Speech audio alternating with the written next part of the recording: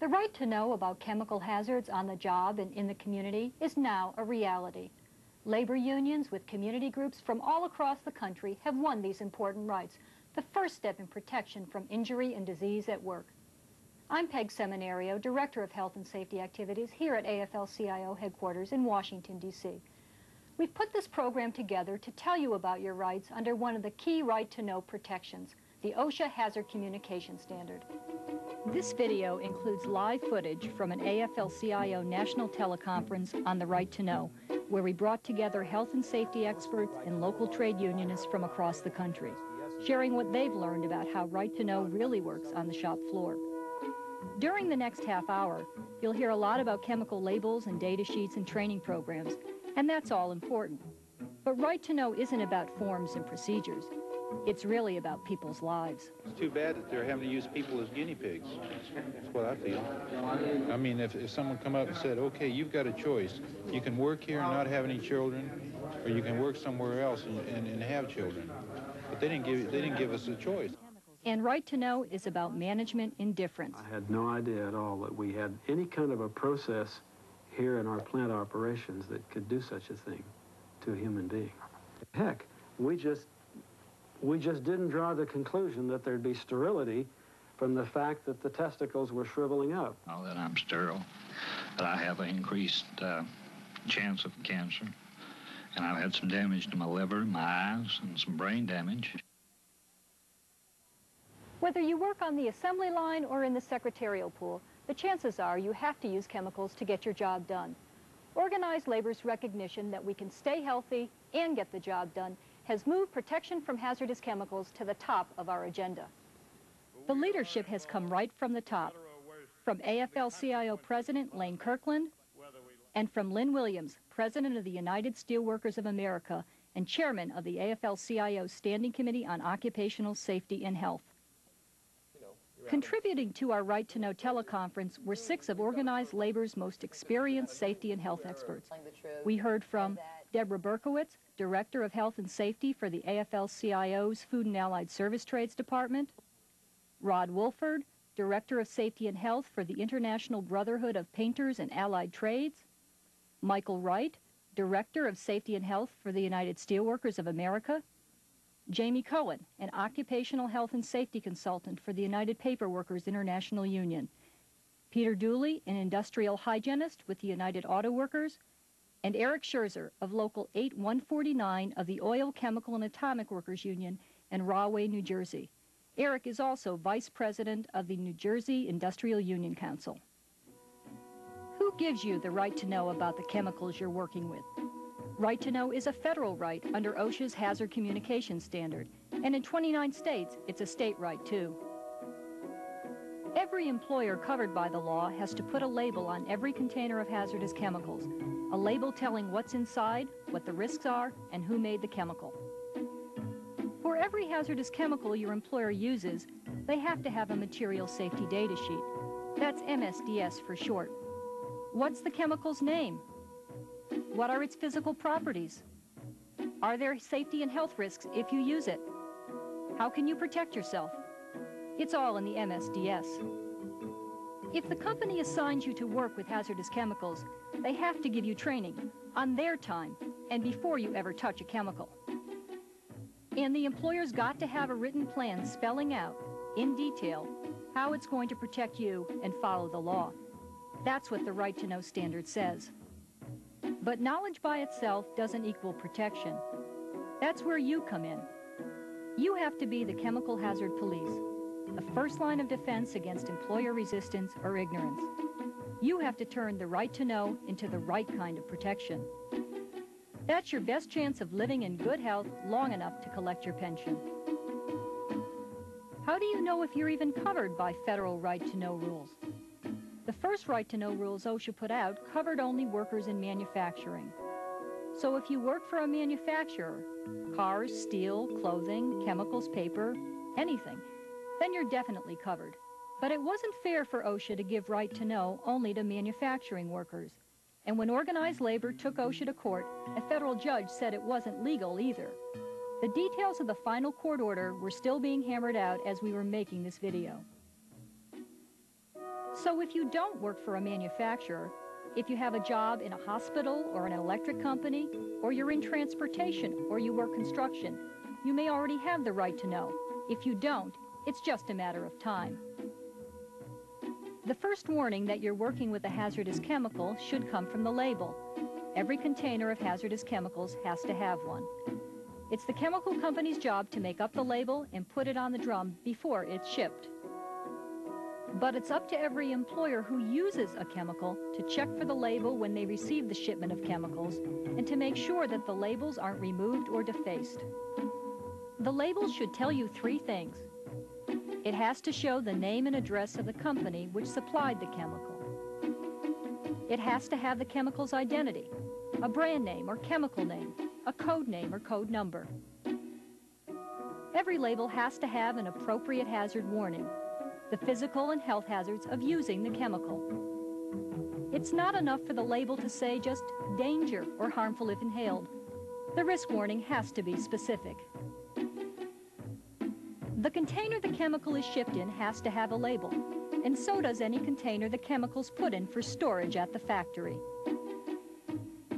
There are only three exceptions to the labeling rule. If the chemical is in a portable container to make it easier to work with, it doesn't have to have a label as long as the only worker who uses it is the one who made the transfer. If the chemical is in a stationary process container, like a dip tank or a reaction vessel, the company doesn't have to put a label on it. But they do have to post a sign or a placard with the same kind of information that's on the label. And if chemicals are in the piping system, no label is required. This issue was discussed at our teleconference by Rod Wolford from the Painters Union. Product identity on labels can be brand names or codes or code numbers. Uh, so when you're looking at a material safety data sheet, you have to make sure to compare the identity on the MSDS with that on the label. They must be the same.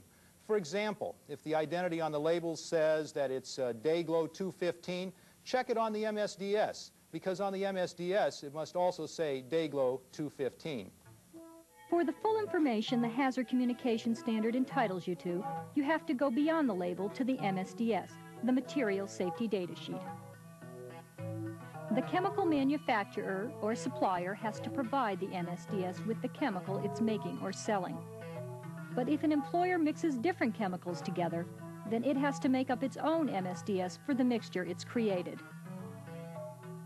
It has to give the product identity, a brand name or a code name or number is okay, as long as it's the same name or number that's on the label. Now don't be fooled by chemical family names, such as aromatic hydrocarbons. Sometimes hundreds of chemicals are in a chemical family, and the hazards of its members may vary widely. The chemical identity is also unacceptable if its name describes a chemical function, such as a plasticizer or a surfactant or a biocide. These tell you what the product does, but not what the product is. The MSDS has to list the chemical's hazardous ingredients by their chemical names. That's important because it lets you check the chemical ingredients yourself to find out what the hazards really are. By every hazardous ingredient, the MSDS has to give the maximum safe exposure.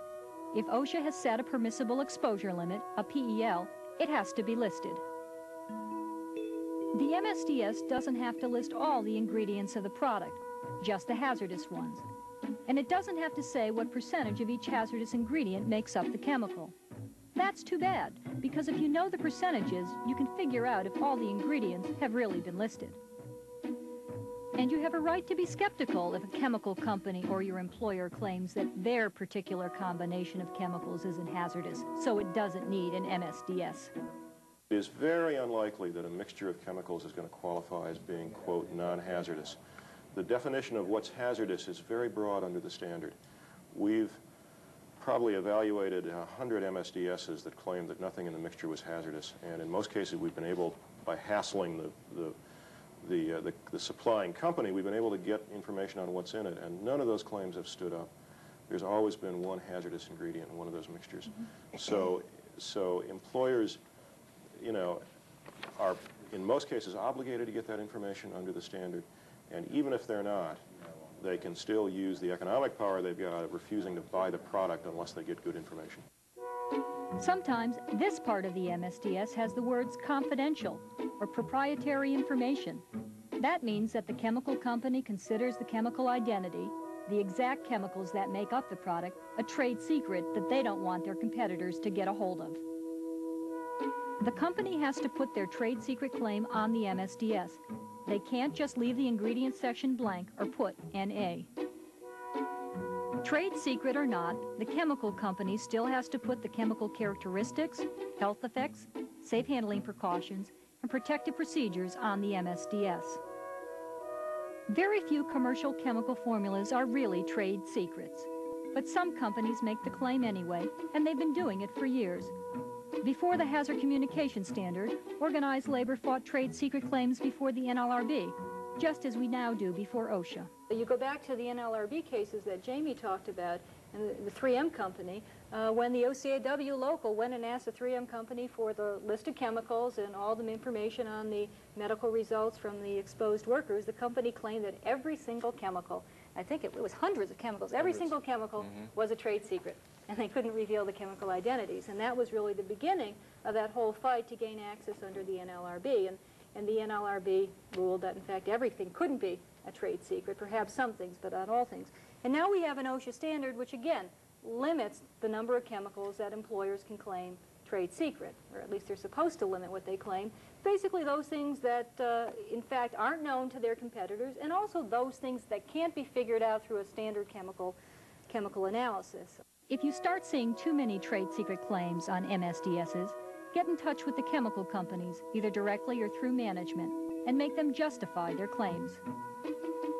The chemical company has to be prepared to tell doctors or nurses, any exposed worker, or a union representative what's in their chemical, trade secret or not, and right away if it's an emergency. And I think that uh, uh, trying to get manufacturers to release their, in quotes, trade secrets is something that can be done. And you might have to uh, do a few operations to get it done, sign confidentiality agreements and so on and so forth.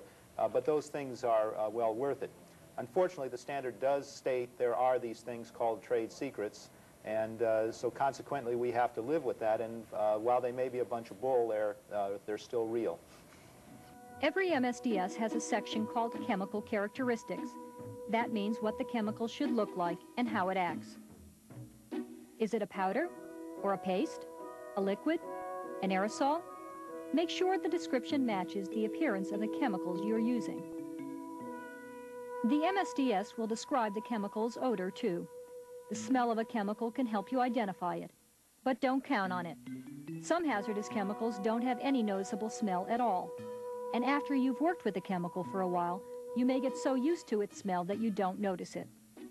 Some chemicals have vapors that are invisible and have no smell at all. If you depended on sight and smell, you could walk into a room full of dangerous fumes without knowing it. So check the boiling point, the vapor pressure, and the vapor density. They'll tell you what the risk is of inhaling dangerous vapors the chemical's giving off.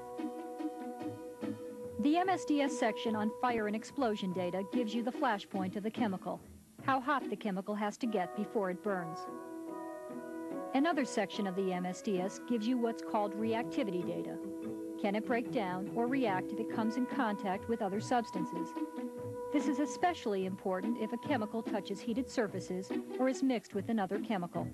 If any of the chemicals listed in the hazardous ingredients section can affect your health, the MSDS has to list every adverse health effect of the product or its ingredients, short-term or long-term. An acute effect means something that happens immediately after you've been exposed, like a skin rash, dizziness, or lightheadedness.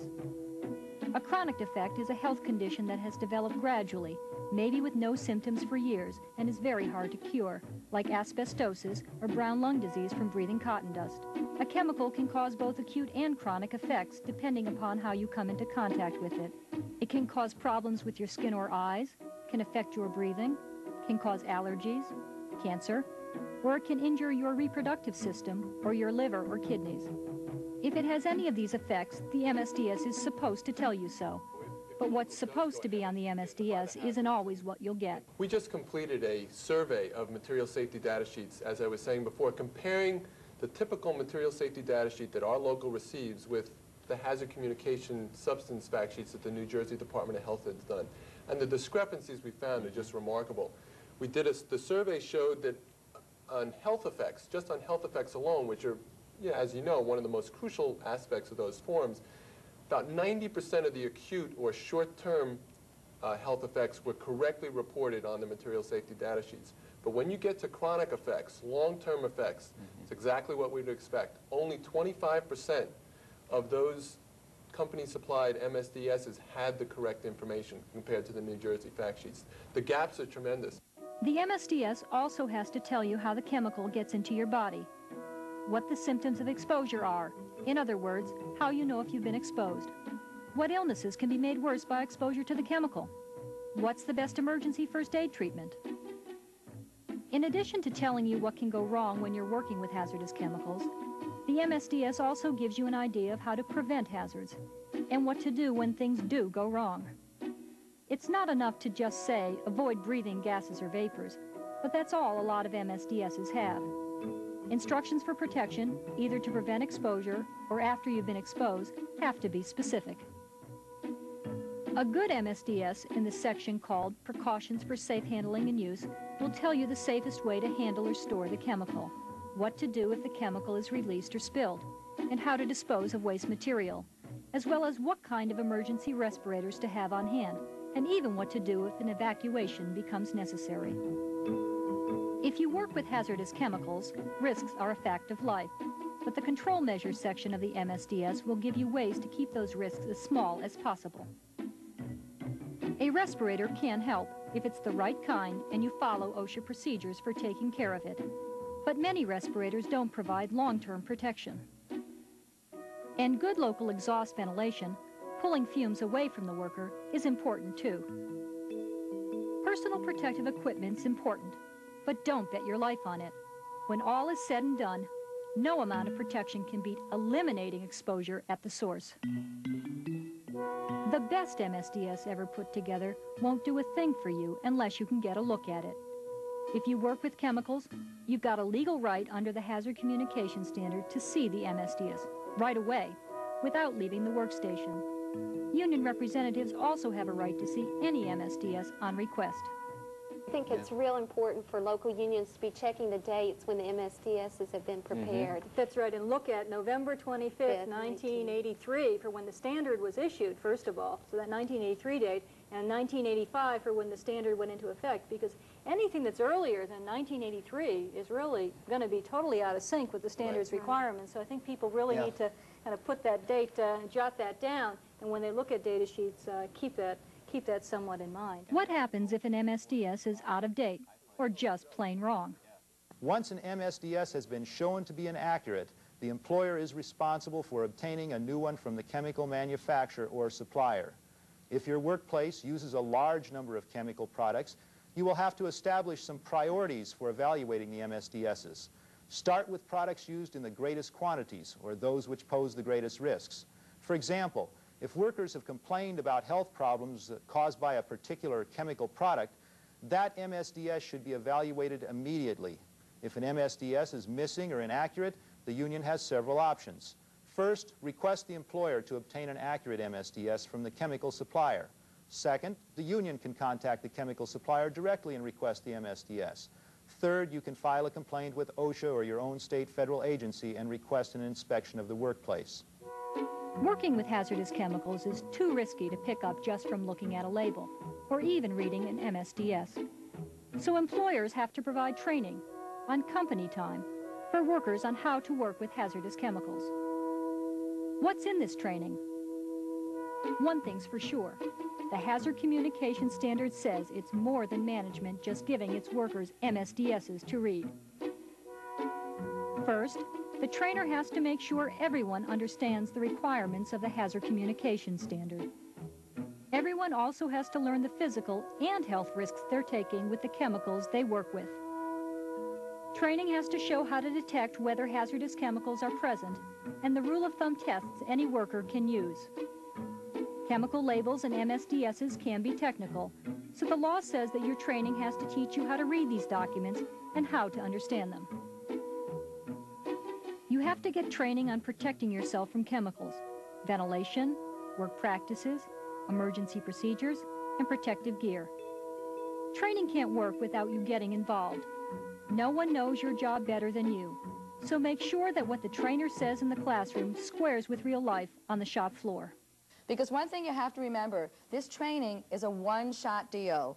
In other words, you only get trained once in the chemicals you work with, and if that training is terrible and it doesn't provide workers any information on the kinds of chemicals they work with or how they're to judge whether they're protected or not, then we've sort of lost it. And, and this is a very important part of the standard because employers really have to be very truthful.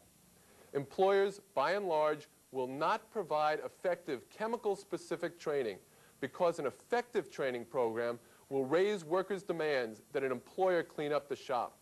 After a truly effective training program, workers should ask, why isn't my employer reducing the hazards? In one instance, we had a local union that requested a copy of the company's written hazard communication program and felt that after reviewing it that the training program was totally inadequate, that it didn't meet any of the needs of the local union out on the shop floor, that it didn't address any of the specific chemical exposures. All it contained was like a 15-minute generic videotape. And the local union rejected it and said that we won't have this out on the floor. And we want you to give us something better that's specific. And the company kept coming back and bringing a new program. The union rejected it like three or four more times till they finally got the kind of program they wanted that was going to be meaningful to their members. Getting the federal government to recognize and to protect your right to know about the chemicals you work with isn't the end of the fight, it's just the beginning. The chemical names and technical terms on labels and data sheets may look complicated and confusing, but you don't need a PhD to understand your right to know any more than you need a PhD to work with chemicals on your job. The right to know only requires employers to give out information. It doesn't require them to actually reduce or control exposures to any chemical at all. So you have to follow up to turn right to know into real protection. As Eric Scherzer from the OCAW said at our teleconference, Winning the right to know in a shop must be immediately followed with action to reduce exposure to the most hazardous chemicals. Otherwise, Right to know is just right to know what's killing us. Right to know must be part of a campaign to reduce exposures or it's a meaningless right. Here's what you can do. Monitor your employer on your own or through your union to make sure that right to know laws are being followed. Inform fellow workers about their rights under the law. Tell them how to get answers to their questions about chemical hazards. Get real protection into the contract why can't management buy safer chemicals with good MSDSs and no trade secret claims? The Hazard Communication Standard's just the beginning of your protection against hazardous chemicals. Build on it by beefing up protections in your contract and by using your Safety and Health Committee to enforce those protections. The Right to Know law is a tremendous tool for increased union participation in health and safety. Although the federal and state laws set minimum requirements, these can be improved or incorporated into contractual language. This may be especially important since different interpretations of the law can affect the implementation of effective right-to-know programs. New contract language can be negotiated to clarify areas of dispute. Just getting the information is really the first step. And the process of building the committee and getting the information and building the committee is one that, that leads us towards correcting the problems because, you know, the, getting the information is the easiest part. The real bottom line on some of this stuff, from my, from my viewpoint, is are our actions here building the local health and safety committees? I mean, all of this stuff relies on a strong in-plan committee backed by a local union, backed by an international union. I mean, if without that, if, if any of these tactics, if the tools that we use, the OSHA hazard communication standard, don't end up building those local committees, then somewhere along the line where we're to, the process is going to fall apart. When problems with hazardous chemicals can't be solved through the Safety and Health Committee or the grievance procedure, it's time to call OSHA. Ask for an in-plant investigation and citations for documented violations. The only threat that the company has to tell the truth is essentially the threat that you'll find out that they're not telling the truth and that you might call OSHA in. And as you know, the companies fight OSHA and we all malign it. They hate OSHA inspections. We're seeing a fair number of citations. You have to remember, first of all, that all these citations are, uh, have no, most of them have no penalties attached to them whatsoever. It's a wrist slapping kind of thing. But it does begin, you know, some of the employers who didn't begin the process when they first started, when they should have, or when 86, when they were supposed to have finished, do begin when they, when they finally get cited by OSHA. So it is, it is a process that's, that's beginning, and it, it provides some sort of function, and it's a threat. I mean, we, employers don't like to have OSHA come in there, don't like to be found in the wrong, don't like to be found violating the law, and uh, they know that they are. And so again, I guess just to make the point uh, as strongly as we can, that don't give up. In fact, it's going to be those efforts of pushing forward, challenging, establishing new territory in this area where we're going to get chemicals identified, chemicals covered, and, and the hazards fully represented. It- it's What's the bottom line? before, What can you do when the boss wants you to do a job that's not safe, some of those that's downright dangerous? Is there a right to refuse? And some unions have negotiated that kind of language, and there are examples of that kind of language being incorporated into the law, where if you believe that that job is unsafe, you have the right to refuse to do it. But uh, you should know that if you use that right, it, you have to follow certain procedures to, to make your case uh, as good as possible. Uh, it is important to recognize that if someone exercises uh, a right to refuse to do a job, that they should get their union representative on, the, on that situation immediately.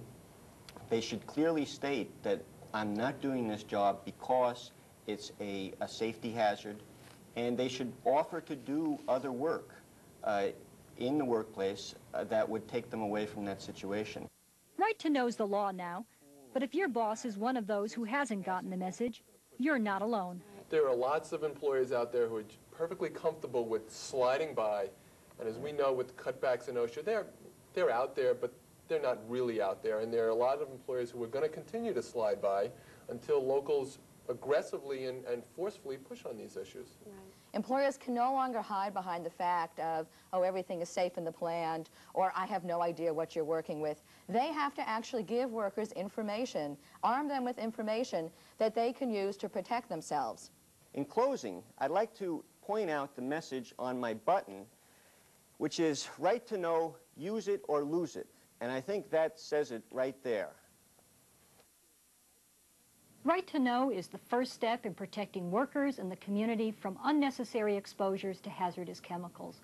It's a right the labor movement won through job actions, grievances, testifying, political pressure, and uniting with our friends in the community.